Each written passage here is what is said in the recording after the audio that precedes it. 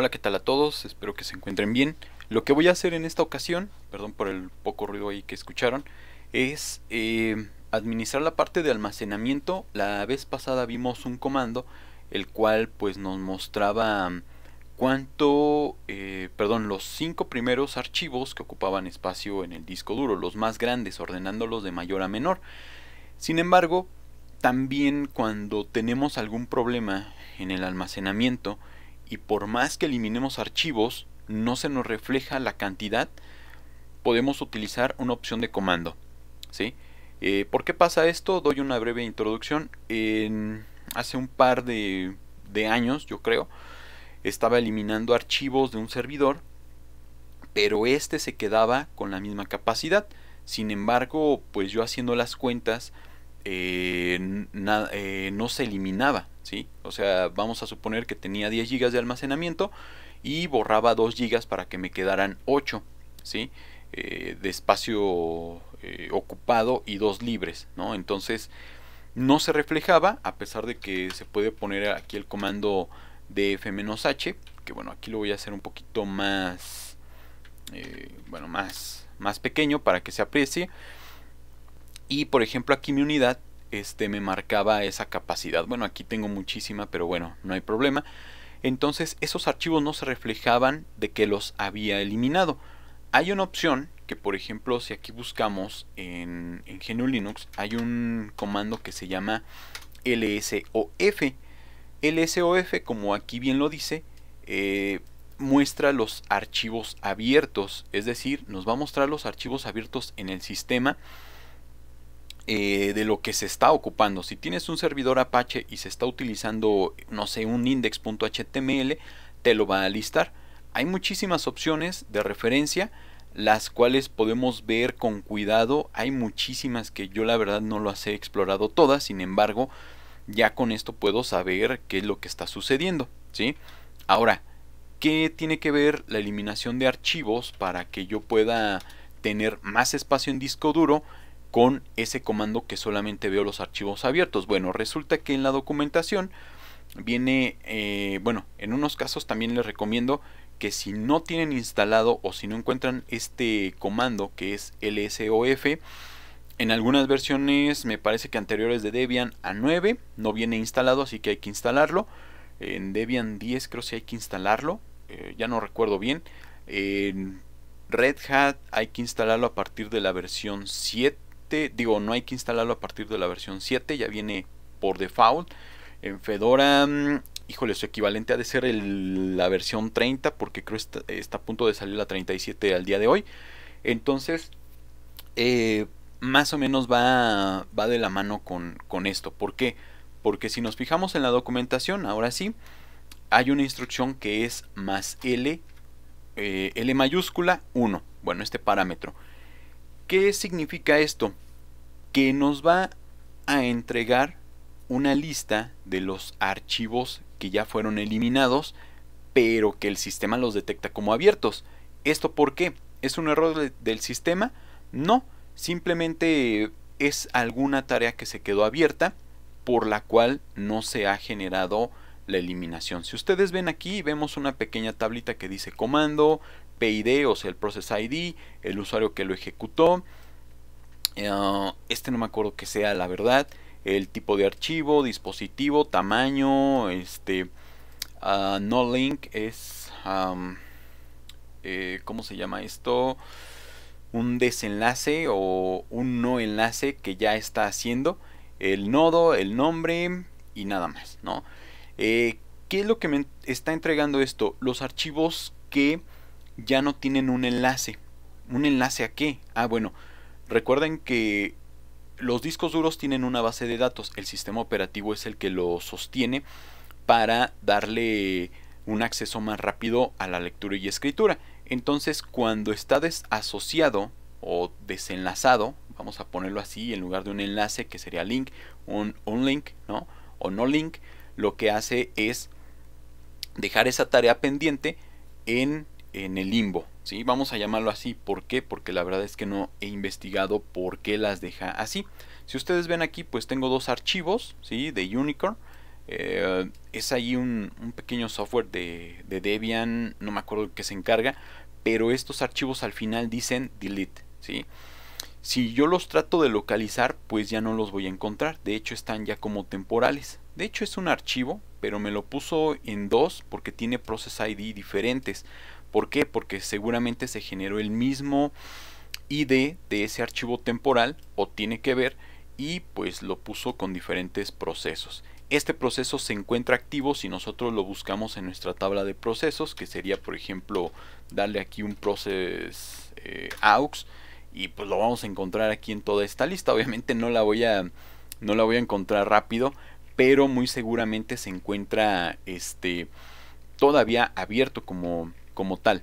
¿Por qué pasa eso? Es lo que les comento. necesito leer más la documentación de por qué se quedan procesos abiertos, pero suele suceder. En Windows pasa lo mismo. Tú tratas de cerrar una aplicación eh, y ya tú de vista ya no ves esa aplicación. Por ejemplo, si tienes Edge trabajando, ya no vas a ver trabajando a Edge, pero en background se encuentra todavía abierto ocupando un espacio en memoria hasta que sea sobrescrita. Entonces, bueno, mmm, Creo que va por ahí el asunto, pero no les puedo asegurar nada. Entonces, a mí me ha pasado que con los archivos, cuando yo elimino, por ejemplo, un archivo log, eh, me pasa mucho con Docker, que llega a ocupar hasta 30 gigas, 20 gigas en un mes, precisamente por las entradas, salidas, todos los procesos. Eh, bueno, inclusive me pasó precisamente que ocupaba todo ese tamaño por no ponerle firewall o no ponerle un filtrado con fail to ban, crecían demasiado esos logs. ¿Sí?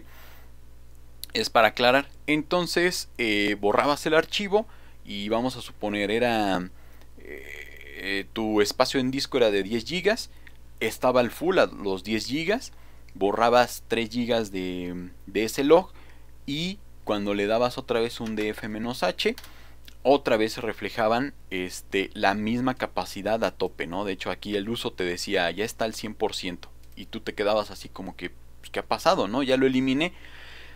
Esto se soluciona rápido reiniciando el servidor. Pero recuerden, en muchas ocasiones no pueden reiniciar este tipo de servidores. Entonces tengan cuidado con esto, ¿vale?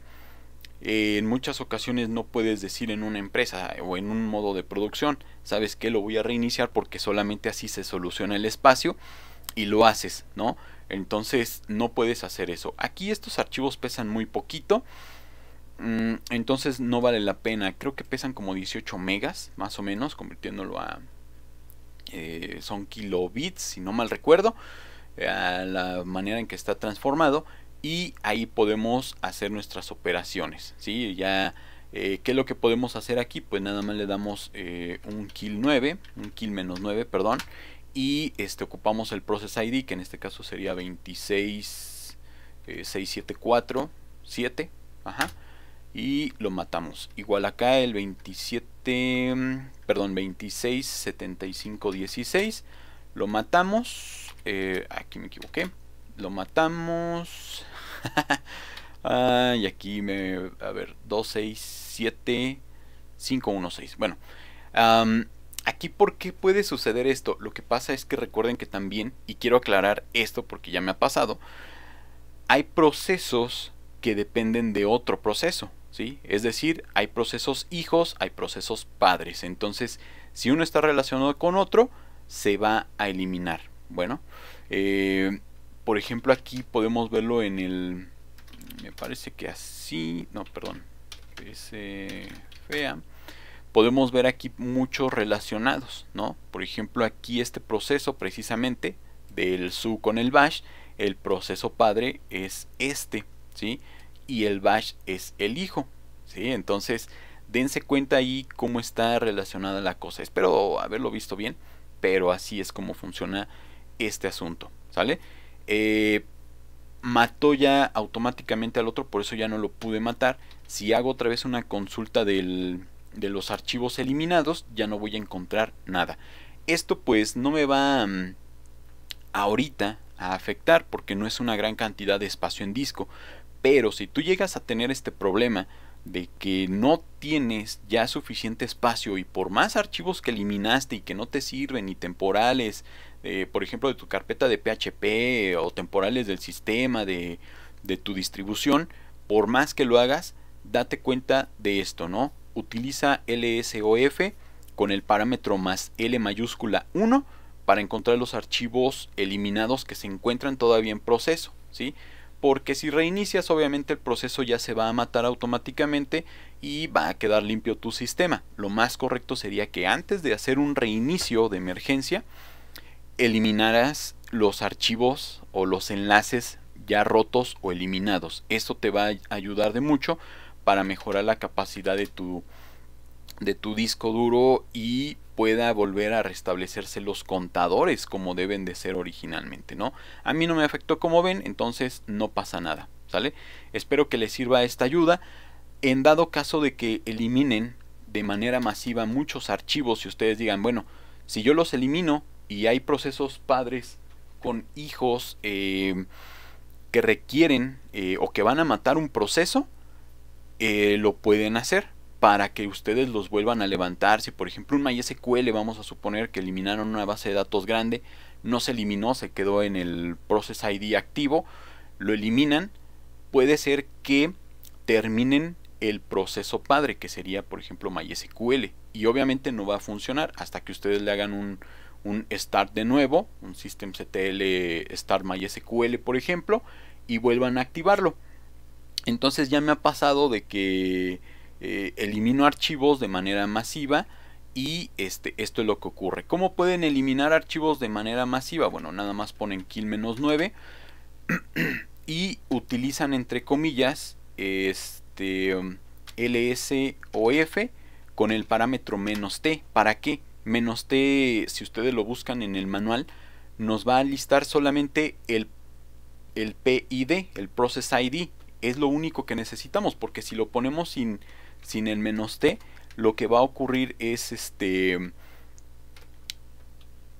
que va a leer toda la cadena y va a identificar algunos, eh, bueno, la cadena como que no es un ID de proceso, entonces no va a hacer nada eh, prácticamente.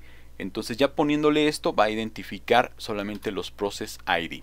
De hecho aquí dice que no hay argumentos que deban de ser procesados o trabajos, ¿sí? Inclusive si yo pongo aquí esto, no me va a marcar nada porque ahorita no tengo ningún proceso de eliminación activo. Chequenlo en su sistema operativo. Si ustedes ya tienen un par de horas trabajando con su distribución de GNU Linux, este, pueden revisarlo y ver qué procesos están activos para que ustedes este, vean eso. Si ustedes quieren ver procesos en específico, por ejemplo, hacen un filtrado, le ponen aquí un grep eh, y le ponen por ejemplo el número de proceso ¿no? Ya le dan enter y ya les va a aparecer toda la rama de procesos de los que depende ese proceso padre con los hijos entonces sería una manera muy recomendable ahorita no podemos ver algo grande porque pues eh, no tengo de hecho he limpiado algunos procesos que estaban así eh, para mejorar el ese tipo de, de cuestionamientos de almacenamiento. Inclusive puede servir para limpiar procesos que estén cargados en memoria RAM que ya no deberían de estar y así se ayudan de los dos. Espero que les haya servido, que les haya quedado claro. Si encuentro algún ejemplo y veo algún tipo de servicio, pues ya haré algún video 2 para que ustedes vean cómo funciona. Eh, sin más por el momento, nos vemos la próxima.